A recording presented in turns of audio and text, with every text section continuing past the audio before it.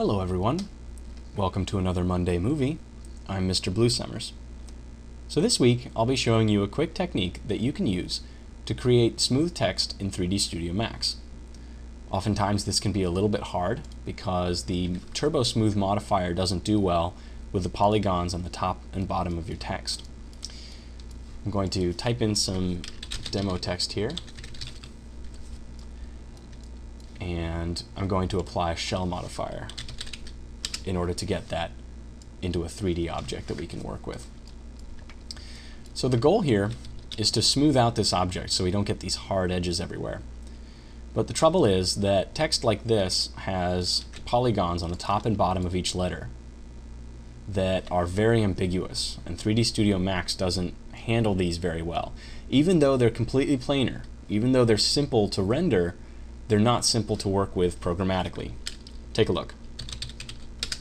When we apply a Turbo Smooth modifier, Studio Max tries to handle these complex objects and it doesn't work out very well. Destroys the text. So how do we get around this? Well, in this technique, we'll be converting this object into a ProBoolean object and letting the ProBoolean quadrilateral tessellation handler take care of this problem for us. That's kind of a mouthful. Let me show you how to do it. Jump back out to the Create panel and go to Geometry, Standard Primitives, and create a cube somewhere. And make sure it's not intersecting any of your geometry. So just like that.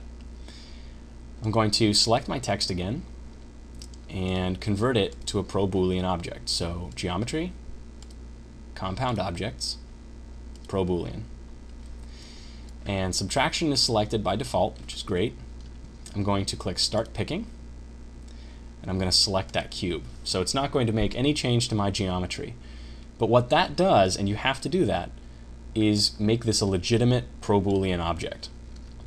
And that's what will enable, under the advanced options, the quadrilateral tessellation, which is right here in this group. When I click on Make Quadrilaterals, you'll notice that now the ProBoolean object takes care of these weird shapes and it tries to tessellate them intelligently. This is a little bit low for what I'm looking for, so I'm going to increase uh, the number of quads that go into this object by reducing the quad size in this spinner.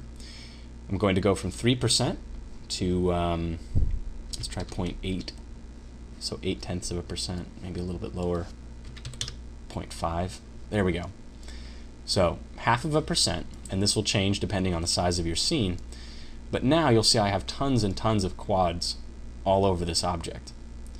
So when I apply the Turbo Smooth modifier, back here in the Modify panel, you'll notice that I get nice, smooth letters. Now it takes a lot of polygons to do this, so it's not great for low poly work, it's not that great for animation, but it looks just superb when you're doing these high resolution renders.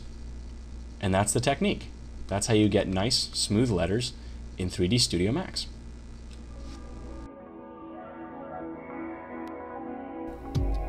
Thanks for tuning in to another Monday movie. You can find all of my Monday movies as well as tutorials, resources, and downloads at my website www.mrbluesummers.com.